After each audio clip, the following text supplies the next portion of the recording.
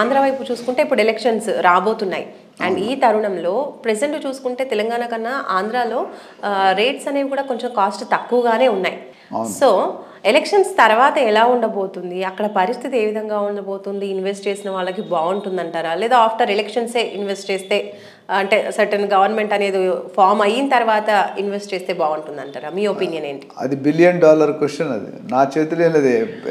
అక్కడ ఆంధ్రప్రదేశ్ ఓటర్లు ఎవరిని ఎన్నుకుంటారో నాకు తెలియదు కదా. కరెక్ట్ నాకు ఓటు ఉన్నది కూడా ఓటర్ రైట్ పోయింది ఇప్పుడు. హైదరాబాద్ నేను బేసికల్లీ నేను చదువుకుంది వైజాగ్లోనే. ఓకే బట్ ఇప్పుడు వైజాగ్ అంటే కొద్దిగా బాధ అనిపిస్తుంది. అంటే మేము ఉన్నప్పుడు ఎలా డెవలప్ అయింది డెవలప్ కావట్లేదని ఒక అపోహ మైండ్లో అయితే ఏదైనా నేటివ్ ప్లేస్ నేటివ్ ప్లేసే కదా. నేను హైదరాబాద్కి వచ్చి త్రీ డికెట్స్ అయిపోయింది. థర్టీ త్రీ ఇయర్స్ అయిపోయింది. నైన్టీన్ నైన్టీలో షిఫ్ట్ అయ్యాను.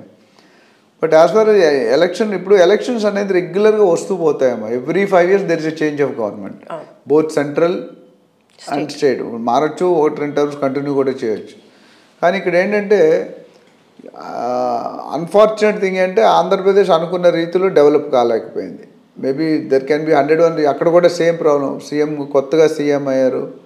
So we'll have is own challenges ఆయన ప్రియారిటీస్ వేరుంటాయి. పాత గవర్నమెంట్ ఛాలెంజెస్ వేరుంటాయి వాళ్ళ ప్రియారిటీస్ వేరుంటాయి. అంటే ఎప్పుడు కూడా అపోజిషన్ నార్త్లో సౌత్లో ఉంటారు. ఈ గవర్నమెంట్ ఇటు వెళ్తే ఈ గవర్నమెంట్ ఇటు వెళ్తుంది. So at the end of the day వాళ్ళు చూసుకోవాల్సిన అంటే పబ్లిక్ ఏ విధంగా ఇంపాక్ట్ అవుతుంది ఏ విధంగా ప్రాబ్లం అవుతుంది అనేది చూసుకోవాలి. అయితే వాస్తవం ఏంటంటే మా అందరికీ తెలిసిన నగ్న సత్యం ఏంటంటే ఆంధ్రప్రదేశ్లో పెరగాల్సినంత రీతిగా రియల్ ఎస్టేట్ పెరగలేదు. ఇన్వెస్టర్స్ వెనక్కి వెళ్ళిపోతున్నారు. ఇన్వెస్టర్స్ ముందుకు రావట్లేదు. ఎందుకంటే ఇప్పుడు ఈ గవర్నమెంట్ వస్తుందా రాదని మీకు తెలియదు నాకు తెలియదు రావచ్చు రాకపోవచ్చు. సో ఒకవేళ కొత్త పాత గవర్నమెంట్ మళ్ళీ ప్రీవియస్ గవర్నమెంట్ వచ్చింది అనుకోండి మేబీ అమరావతి క్యాపిటల్ అవ్వచ్చు. ఇప్పుడు వీళ్ళు వచ్చారు అనుకోండి ఇప్పుడు కోర్టులో అయితే డెసిషన్ పెట్టారు మూడు క్యాపిటల్స్కి అవకాశం లేదు అనేది క్లియర్ జడ్జిమెంట్ ఇచ్చారు. సో వాట్ విల్ ఇప్పుడు ఇన్వెస్టర్స్ ఎప్పుడు కూడా ఎక్కడ సేఫ్ ఉందో అక్కడ పెడతారు. కరెక్ట్ స్టేబుల్గా వేవరి ఉన్న దగ్గర రిస్క్ తీసుకోరు. ఎందుకు తీసుకోవాలా? ఒకప్పుడు ఆంధ్రప్రదేశ్లో ఒక ఎకరం కొనాలంటే తెలంగాణలో పది ఎకరాలు వచ్చేది. Twenty thirty years back. ఈరోజు రివర్స్ అయిపోయింది.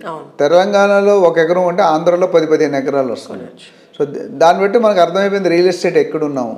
సో గవర్నమెంట్ ఏ గవర్నమెంట్ వచ్చినా రియల్ ఎస్టేట్ అనేది ఇంపాక్ట్ ఎందుకంటే మనకంటే ఎక్కువ అప్పుల్లో ఉంది ఆంధ్రప్రదేశ్ తెలంగాణ కూడా ఐదు ఆరు లక్షలు ఉంది వాళ్ళకి తొమ్మిది లక్షలు ఏదో ఉన్న కోట్లు. అన్ని వేల కోట్లు అప్పు తీర్చాలంటే it's not easy every year కన్నం పెట్టుకొని వెళ్ళడం అప్పులు తీసుకోవడం ఈజీ బట్ ఇంట్రెస్ట్ కట్టడానికి మనం నేను విన్నది ఇండియన్ గవర్నమెంట్ కూడా ఒకప్పుడు అప్పులు తీర్చడానికి లోన్ తీసుకునేవారు జస్ట్ ఇంట్రెస్ట్ అప్పులు అంటే అప్పు కాదు. అప్పుల మీద తీసుకుని ఇంట్రెస్ట్ కట్టడానికి మళ్ళీ అప్పులు తీసుకునేవారు ఓకే సో అది ఇంకా డేంజర్ అది. అంటే ఇట్స్ లైక్ ఏ క్యాన్సర్ ఎంతకాలం అప్పులు చేస్తారు? ఒక స్టేజ్ తర్వాత ఏ బ్యాంకు ఇవ్వదు ఎవరు ముందుకు రారు. సో ఆంధ్రప్రదేశ్లో డెఫినెట్గా రియల్ ఎస్టేట్ అనే ఫ్యాక్టర్ డిస్టర్బ్ అయింది. బట్ అంత వరీ కావాల్సిన లేదు. బట్ ఎందుకంటే ఎక్కడైనా గవర్నమెంట్లో చేంజెస్ అప్స్ అండ్ డౌన్స్ నార్మల్గా వస్తూనే ఉంటాయి. ఇప్పుడు ఏం చేయాలంటే ఇప్పుడు ప్రజెంట్ గవర్నమెంట్ వచ్చినా పాత గవర్నమెంట్ వచ్చిన ఆంధ్రప్రదేశ్లో they should work towards the interest of investors. Industries ఎందుకు రావట్లేదు? మన దగ్గర ఇండస్ట్రీస్ వస్తున్నాయి. గుజరాత్లో ఇండస్ట్రీస్ మనకి ఎందుకు రావట్లేదు? అంటే there is something slip between the cup and the lip ఆ స్లిప్ని ఐడెంటిఫై చేసి మార్చుకుంటే గవర్నమెంట్ కూడా ఇప్పుడు గవర్నమెంట్ కూడా ఇక్కడ వచ్చినప్పుడు అక్కడ కూడా వాళ్ళకి ఇన్కమ్ వస్తుంది కదా రియల్ ఎస్టేట్లో మనకంటే పెద్ద స్టేట్ ఆంధ్రప్రదేశ్. మనది నాలుగు కోట్లు అయితే వాళ్ళు ఆరు కోట్లు అనుకుంటా పాపులేషన్ సో మనకు వన్ అండ్ హాఫ్ టైం పెద్దది. సో మనకంటే ఎక్కువ రెవెన్యూ అన్ఫార్చునేట్ అంటే ఏపీ అయిన మన రెవెన్యూ లేదు. హైదరాబాద్కి ఆల్రెడీ సెట్ రెవెన్యూ ఉంది. రెవెన్యూ ఉన్నప్పటికీ అప్పుల్లోకి వెళ్ళాం. అక్కడ రెవెన్యూ లేకపోతే డెఫినెట్గా అప్పుల్లోకి వెళ్తారు. And sir as a customer ఇప్పుడు రియల్టర్గా మీరు చెప్తున్నారు బట్ యాజ్ ఏ కస్టమర్గా ఆలోచిస్తే కనుక రేట్ తక్కువగా ఉన్నప్పుడు కొనుక్కుంటే బెస్ట్ అనుకుంటారు. ఇప్పుడు ఎప్- ఎవరైనా సరే రియల్టర్ చెప్పే మాట ఏంటంటే పీపుల్ పెరుగుతూ ఉంటారు పాపులేషన్ పెరుగుతూ ఉంటుంది. బట్ భూమి మాత్రం పెరగదు కాబట్టి ఎప్పుడైనా సరే తక్కువ కాస్ట్ ఉన్నప్పటికీ కూడా టైం పట్టొచ్చు బట్ డెవలప్మెంట్ అనేది జరుగుతుంది కంపల్సరీ రేట్ అనేది ఫ్యూచర్లో పెరుగుతుంది అనేది ఫార్ములా అందరికీ తెలిసిందే రియల్ ఎస్టేట్లో. అలాంటి ఫార్ములానే మళ్ళీ ఏపీలో మనము ఇంప్లిమెంట్ చేస్తే రేట్స్ తక్కువగా ఉన్నాయి కాబట్టి ఇప్పుడు తీసుకుంటే ఫ్యూచర్లో ఎప్పుడైనా కొంచెం లేట్ అయినప్పటికీ కూడా ఫ్యూచర్లో కంపల్సరీ రేట్ అనేది పెరుగుతుంది రియల్ ఎస్టేట్ భూమ్ అనేది ఇంక్రీజ్ అవుతుంది. సో ఈ టైంలో ఇన్వెస్ట్ చేస్తే కస్టమర్కి సేఫే అనొచ్చు కదా? అంటే నేను హండ్రెడ్ పర్సెంట్ ఏకీభవించాం ఎందుకంటే మనకి అష్యూర్డ్ రిటర్న్స్ కావాలి. ఓకే అంటే మనం పెట్టిన దానికి మూడు నాలుగు సంవత్సరాలు ఐదు సంవత్సరాలు డబుల్ అవ్వాలి. ఓకే ఆ పరిస్థితి ఇప్పుడు ప్రస్తుతం ఆంధ్రప్రదేశ్లో లేదు. ఓకే. ఎందుకంటే లాస్ట్ ఫైవ్ ఇయర్స్ చూసుకుంటే డౌన్ ట్రెండే ఉంది కానీ అప్వర్డ్ ట్రెండ్ లేదు. Except very few areas main సిటీస్లో తప్ప మొత్తం స్టేట్ అంతా అది లేదు. ఎందుకంటే ఆ అన్స్టేబుల్ కండిషన్ ఉన్నప్పుడు ఇన్వెస్టర్స్ లాభం కోసం చూడరు ప్రిన్సిపల్ కోసం చూసుకుంటారు. ఎందుకంటే ఇప్పుడు అక్కడ ఒక్క ఎకరం చూసుకున్న ఒక నాలుగైదు లక్షలకు కూడా ఒక ఎకరం కరెక్ట్ దొరికేస్తున్న రేపు పొద్దుట ఇదే గవర్నమెంట్ వచ్చి అదే ప్రాసెస్ వెళ్తే ఇంకా కిందకి ఐదు ఎకరాలు పది ఎకరాలు పది ఎకరాలు ఇరవై ఎకరాలు వస్తుంది. గ్రో అవుతుంది అనే కాన్ఫిడెన్స్ లెవెల్ దెబ్బతిన్నది ఇక్కడ. సెంటిమెంట్ మార్కెట్ సెంటిమెంట్ ఏంటంటే నేను ఇక్కడ డబ్బులు పెడతాను. డబ్బులు పెడితే నాకు at least four to five years double అవ్వాలి. దట్స్ రియల్ ఎస్టేట్ ఇప్పుడు మన తెలంగాణలో అయ్యేది ఏంటంటే లాస్ట్ ఫిఫ్టీన్ ఇయర్స్లో చూసుకుంటే మీరు ఇవాళ పది రూపాయలు పెడితే టూ థౌజండ్ ఫోర్ ట్వంటీ ఫోర్లో టూ థౌజండ్ ట్వంటీ నైన్కి హండ్రెడ్ అండ్ ట్వంటీ పర్సెంట్ ఇరవై రూపాయలు అయిపోతుంది. ఆ స్టేజ్ కాన్ఫిడెంట్గా ఇన్వెస్టర్స్కి దొరకట్లేదు. ఆ market sentiment is totally down but government తలుచుకుంటే చేసుకుంటారు చేయగలుగుతారు. Government can catch up and re retreat the policies and ఒకసారి పబ్లిక్ నచ్చిందంటే ఆడ మళ్ళీ అందరూ ఇప్పుడు ఏమైంది? ఇన్వెస్టర్స్ అందరూ కూడా ఆంధ్రప్రదేశ్లో ఆంధ్రప్రదేశ్ వాళ్ళే పెట్టరు తెలంగాణలో తెలంగాణ వాళ్ళే పెట్టరు తెలంగాణ వాళ్ళు ఒక sudden one third percent thirty forty percent ఉంటుంది. మిగతా sixty percent north India west India east India ఉంది. ఫారినర్స్ ఉన్నారు ఎన్ఆర్ఐస్ ఉన్నారు ఆస్ట్రేలియా మిడిల్ ఈస్ట్ ఇవన్నీ కూడా ఉన్నాయి. సో వీళ్ళందరూ వస్తారు కాబట్టి అందుకని రియల్ ఎస్టేట్ ఎప్పుడు మనం దెబ్బతిన్నది ఎందుకంటే we're not depending only on the local local people ఒక సడన్ ఇప్పుడు ఆంధ్ర తెలంగాణ ఉందనుకోండి అందరూ they are not from Telangana. Rajasthan వాళ్ళు ఉన్నారు గుజరాత్ వాళ్ళు ఉన్నారు మరాఠీస్ ఉన్నారు అందరూ ఉన్నారు అందరూ బతుకుతున్నారు. Correct Telangana is like mini India mini in fact చాలా మంది అన్నారు యూనియన్ టెరిటరీ కూడా చేస్తారని ఒక రూమర్స్ అయితే ఉన్నాయి. ఎంతవరకు యూనియన్ టెరిటరీ అయితే ఇంకెవరు పట్టుకోలేరు. It is going to be a gold mine రావాలని కోరుకుందాం. అది ఆల్రెడీ ప్లానింగ్లో ఉంది సెంట్రల్ గవర్నమెంట్ అన్నారు but maybe it may take some time so ఆ విధంగా చూసుకుంటే ఆంధ్రప్రదేశ్లో ప్రస్తుతం ఒక పరిస్థితి బాగోలేదు but next term two thousand twenty four బాగుండాలి అని మనం ఆశిద్దాము. డెఫినెట్గా మంచి వాళ్ళు కూడా ఫీడ్బ్యాక్ వెళ్ళింది మార్కెట్ నుండి. సో ప్ర ప్రజలు నిర్ణయిస్తారు ఎవరు వస్తారు రాజకీయ పవర్లోకి అనేది. వాళ్ళు వచ్చిన తర్వాత. డెఫినెట్గా రియల్ ఎస్టేట్ని ముందుకు తీసుకెళ్తారన్న గట్టి నమ్మకం మాత్రం నాకు ఉంది we wish them all the best good luck and sir ఇప్పుడు పరిస్థితి చూసుకుంటే ఒక కస్టమరు ఒక పదిహేను లక్షలు లేదా ఇరవై లక్షలు పెట్టుకుంటే ఒక మామూలు ఎంప్లాయీ పెట్టుకుంటే ఒక మంచి ప్లేస్లో ఒక ప్లాట్ కానివ్వండి ఒక ప్రాపర్టీ కానివ్వండి కొనాలి అనుకున్నప్పుడు ఆ బడ్జెట్లో ఏ ప్లేసెస్లో కనుక వాళ్ళు చూసుకోవచ్చు అంటారు? ఏ ప్లేసెస్ వాళ్ళకి ఇవన్నీ డబ్బులు తీసుకొని చెప్పాలమ్మా. నువ్వు డబ్బులు లేకుండా మీరు పే చేయరు డబ్బులు ఇయ్యరు అన్ని క్వశ్చన్లు తీసుకుంటే ఎట్లా? ఇక్కడ ఏంటంటే మనిషి ఒక జన్మ తీసుకున్న తర్వాత చదువు జాబు పెళ్ళి పిల్లలు ఇల్లు car. These are the minimum నా అనుభవం చెప్తాను. లైఫ్ ఎక్స్పీరియన్స్ ఎవరైనా ఒక మనిషి పుట్టిన తర్వాత జీవితంలో ఇవి కావాలనుకుంటా మిగతా లగ్జరీస్ ఫామ్ హౌస్లు బంగ్లాలు. మెర్సిడీస్లు అవన్నీ తర్వాత. సో ఇక్కడ మీరు తెలుసుకోవాల్సింది ఏంటంటే మీరు అడిగిన దానికి ప్రతి పర్సన్కి ఇప్పుడు నేను చాలామంది చెప్పాను నచ్చదు. ప్రతి అబ్బాయికి అమ్మాయి ఎక్కడో పుట్టుంటుంది. ఇండియాలో కాకపోతే దేశంలోనో ఫారెన్లోనో పుట్టుంటుంది. ప్రతి అమ్మాయికి అబ్బాయి పుట్టుంటాడు. Only the time matter of time. కొంతమంది కరెక్ట్ టైంలో దొరికిపోతే కొంతమంది దొరకదు. అదేవిధంగా ప్రతి పర్సన్కి ఇన్వెస్టర్కి there is a place where they can buy a property చాలామంది తెలియదు. ఓకే. మీలాగా రెండు మూడు కోట్లు సిటీలో కొనుక్కుంటారు. కొంచెం డబ్బులు లేని వాళ్ళు బయట కొనుక్కుంటారు. అంటే బయట కొంటే డిస్టెన్స్ మీరు దూరం వెళ్తున్న వెళ్తే రేటు తక్కువ ఉంటుంది. దగ్గరికి వస్తున్న వెళ్తే రేటు పెరుగుతుంది. సో మన పరిస్థితి బట్టి ఇప్పుడు ఎదురింట్లో బెంజ్ ఉందని మీ ఇంట్లో బెంజ్ ఉండాలని లేదు మా ఇంట్లో బెంజ్ ఉండాలని లేదు. వాళ్ళు maybe same group same classmate అయినప్పటికీ కూడా పరిస్థితులు సర్కమ్స్టెన్సెస్ మారిపోయినందువల్ల మనం డిఫరెంట్ డిఫరెంట్ స్టేజెస్లో ఉంటాం. Our life style is different మన దగ్గర మారుతి ఎయిట్ హండ్రెడ్ ఉండొచ్చు అవతల వాళ్ళ దగ్గర మెర్సిడీస్ బెంజ్ ఉండొచ్చు.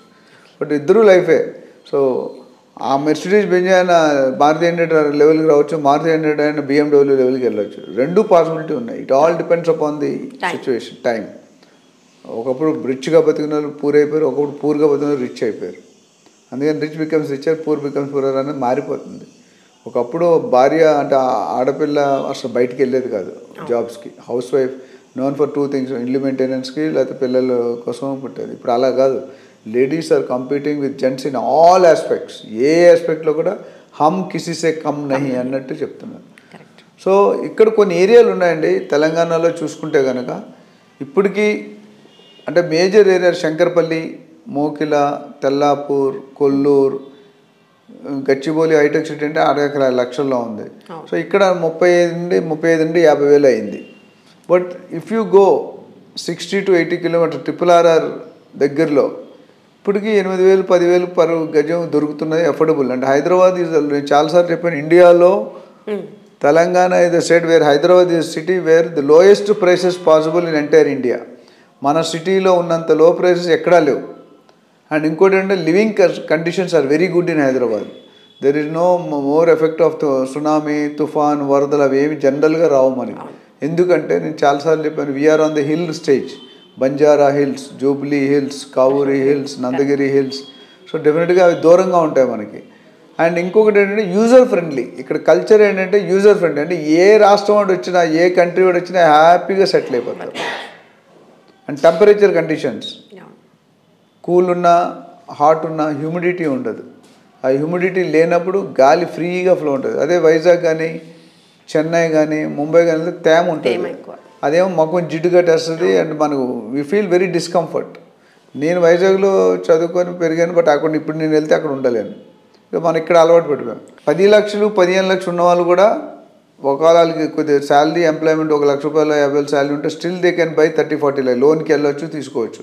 లేదు పదిహేను లక్షలకి ఇరవై లక్షలు కావాలంటే there are areas where we can suggest them for example Mumbai హైవేలో పోతే బుదేరా అని ఒక ప్లేస్ ఉంది.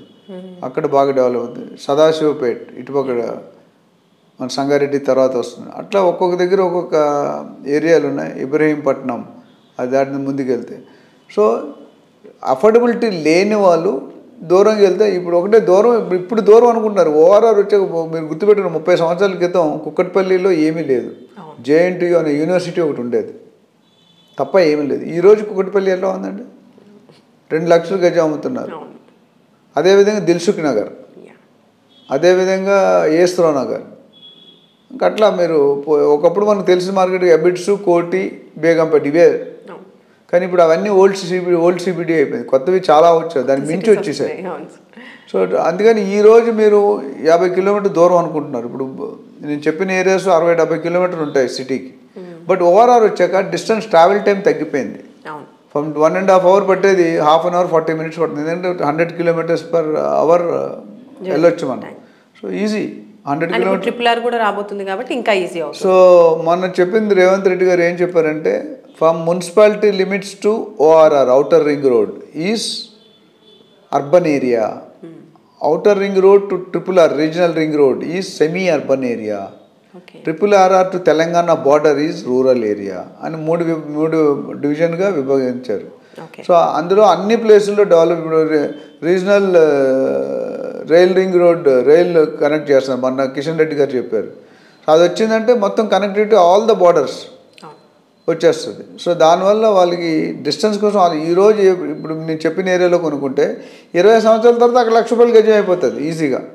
లక్ష రెండు లక్షలు అవుతుంది. That's what happen to these old areas Kukatpally కానీ తెలుసు. ఇప్పుడు దిల్సునగర్లో మీకు ల్యాండ్ పదివేలకి ఇరవై వేలు దొరకదు కదా. సో కాబట్టి పది లక్షలు పదిహేను లక్షలు ఉన్నవాళ్ళు ఒక లోన్ ద్వారా వెళ్ళగలిగితే ఇంకొక పదిహేను ముప్పై లక్షలు వాళ్ళకి లోన్ వచ్చే అవకాశం ఉంటుంది. లేదు పదిహేను ఇరవై లక్షల్లో కొనుక్కోవాలంటే నన్ను సంప్రదించవచ్చు. నన్ను సంప్రదిస్తే వాళ్ళకి ఏరియా సజెస్ట్ చేస్తాను.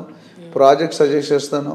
Definitely everybody can build their own house depending on their capability affordability and capacity so వాళ్ళు చింతించక్కర్లేదు.